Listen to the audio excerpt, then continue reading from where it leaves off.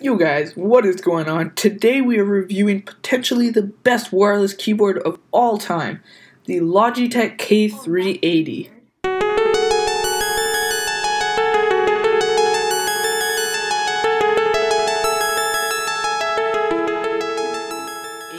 The Logitech K380 is a $40 compact wireless keyboard packed with tons of features. The design of the keyboard is one of the best I've seen in a while.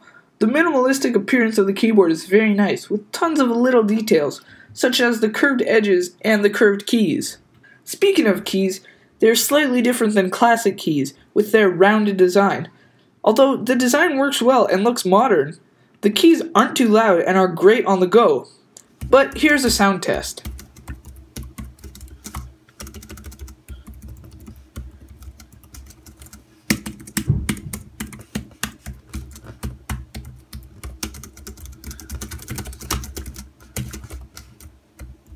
In my opinion, this keyboard is much better than many other desktop keyboards out there, and it would work fine on an iMac or PC device. Although this keyboard was made for mobile and tablet devices, and that's where this the easy switch technology comes in.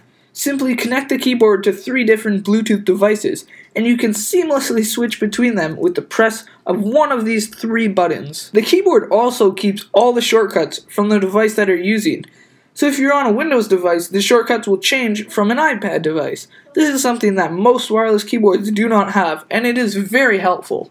The battery life on the K380 is an astonishing two years. Yes, that's two whole years. Although there's no exact time you can use a keyboard for, two years is a heck of a long time. Of course, when you run out of battery, you can simply switch the AA batteries for new ones. The Logitech K380 is probably the best wireless keyboard you can get for the price, and I highly recommend it.